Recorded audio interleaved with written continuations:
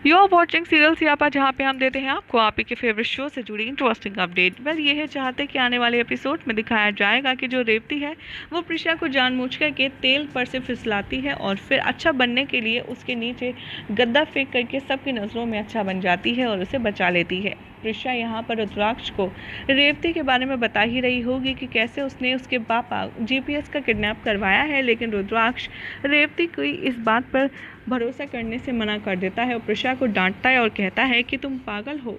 रेवती कितनी अच्छी है।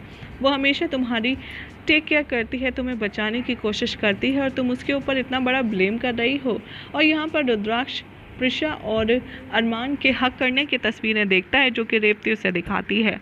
और ये देख कर के रेवती बहुत खुश होती है और कहती है कि अब ऐसे ही मैं तुम दोनों के बीच में मिसअंडरस्टैंडिंग क्रिएट कर दूँगी और तुम दोनों को अलग कर दूँगी।